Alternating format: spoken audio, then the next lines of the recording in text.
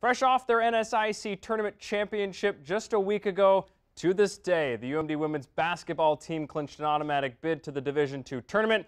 And tonight, they also found out where and when and who they are playing in the big dance. The Bulldogs are the three seed in the Central region, being hosted by Central Missouri, and will take on the six seed Emporia State out of the MIAA.